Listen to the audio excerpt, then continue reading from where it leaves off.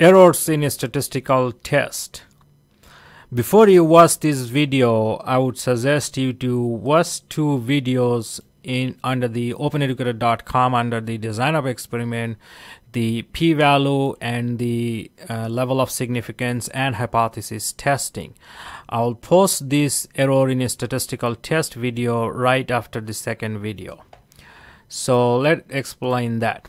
What is statistical uh, errors in a statistical test. Now, all these statistical test or hypothesis testing or design of experiment, um, any data analysis, the decision is based on probability and the final decision is some kind of yes or no. For example, uh, am I going to get the jackpot or not or um, are you going to come to the class today or not? Or are you going to invest in a stock or not? So all the decisions are between yes or no uh, whether it's going to rain or not. So you, you calculate this probability based on the data and then your according to your set criteria you say well yeah we're going to invest on this or not.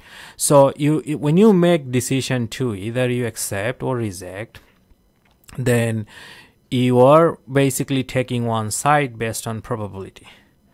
Now there is always a chance that the other thing might happen. In that case, you are making an making making a mistake.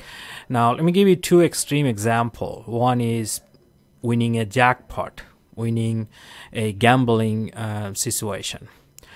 So you're making a hypothesis that I'm gonna win in a gambling situation, I'm gonna hit the jackpot or something like that, and then you collect the data, and obviously you'll find out that the probability is very very low, and then you reject the null hypothesis of winning the jackpot or winning the lottery. Now you reject it, however, tomorrow on the newspaper you will see someone really hit the jackpot or won some kind of lottery so that is a mistake that we did based on the data scientific study that we have done. And the mistake was because of our system because of our method. So this um, type 1 and type 2 error they're basically because of our system because of our process we made some kind of wrong decision. And if we we know that the type the hypothesis was true, someone won the jackpot, and, and then we concluded based on our data, no, we reject that. Nobody's gonna, that person is not gonna win the jackpot or something. So, however, in reality, it was true hypothesis, and then we rejected it. So that was a, some kind of error. Now, type two um, error is um, let me give you an example. I use this example all the time. Um, i think i have used it in two three other videos. The weather.com data. So this morning when i started from home i saw cloudy and windy day. So i thought there might be rain. So i make an hypothesis that it's gonna rain today and then I see this weather.com data and then they have run some analysis in the background and give me this probability of 15% rain. So that confirms my hypothesis. I say yes, I'll accept the hypothesis because the probability is more than 5%. So I accepted it. Believe me or not, I didn't see a single drop of rain today. I have a really big window in my office and not a single drop of rain. So it didn't rain today. So the hypothesis is wrong and I accepted it based on my data, based on my process or method, and then I found out it was a mistake.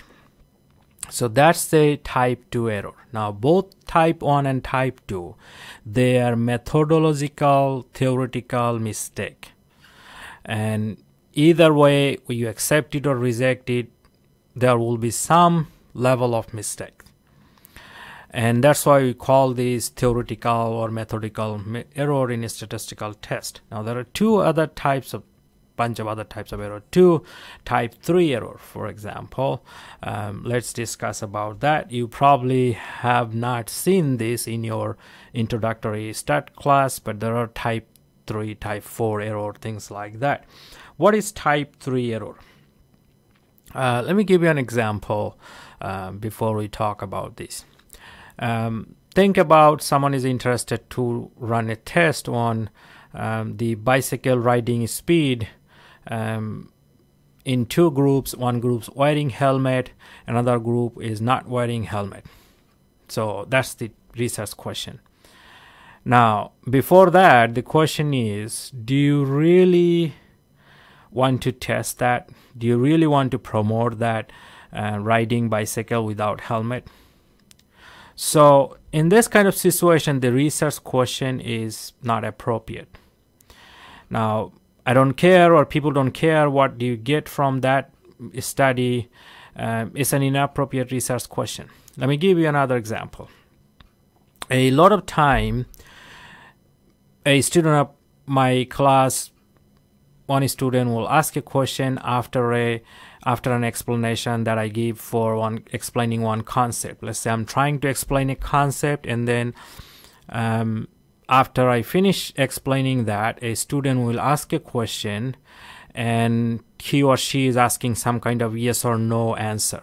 So the student has the concept framed in his or her mind that this is that. And then he or she is trying to confirm, uh, asking some kind of confirmation from me and asking some kind of yes or no question. And when the question comes, I say, oh my God, that's not what I wanted to know for them. So instead of saying yes or no, I give um, the explanation in another way, and that clarifies their concept, and they get the right um, right concept in their brain. Now, if I would say yes or no at that point, what I clearly see the student has uh, wrong concept built in based on my discussion. There's nothing wrong with the student. Is how I explained and then how it got into their brain. So it was, as an instructor, my fault, not failures, that I was not able to communicate that clearly at the beginning. So, and then in kind of situation like this, I really don't want to say yes or no. So the the question that a student asked was not I wouldn't say appropriate or wrong or right, but it doesn't have a yes or no answer like the thing we try to do in a statistical test right here in hypothesis testing.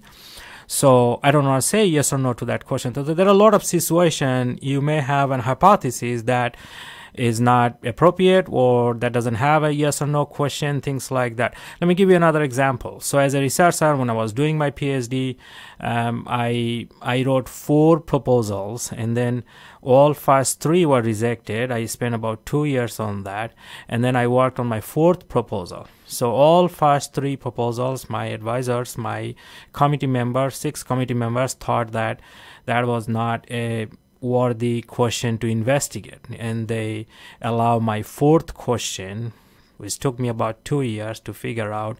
Um, so they thought okay that might be a worthy investigation. Now if you think about any statistical test or experiment you are trying to know something new. You're not testing something that you know. You're not testing newton laws of gravity or whatever laws of motion. You are you want to know something uh, and you don't know the answer. So a lot of time we as a researcher, you as a researcher is some kind of student. So uh, it is very easy to get some kind of hypothesis wrong or something like that. So it could have like type 3 and type 4 and on and on. I think this video is already getting long. So uh, the important thing that I want to talk about is this is more theoretical discussion, this type 1, type 2, type 3 error um, than in actual practical application. I made this video because a student of mine requested me and a couple of other time I got this request. So, but in actual practical real world application, uh, I didn't have this video for I've been teaching this DOE for a long time, statistics for a long time. So um, but I think we should know. We should know what it is. Um, so uh, you have some solid theoretical uh, background when you run any statistical test or things like that. It's not that you have to use it every single day, but we should know what we're doing here. So I hope that explain type 1, type 2, type 3, all kinds of error like that. Sorry for that long video, almost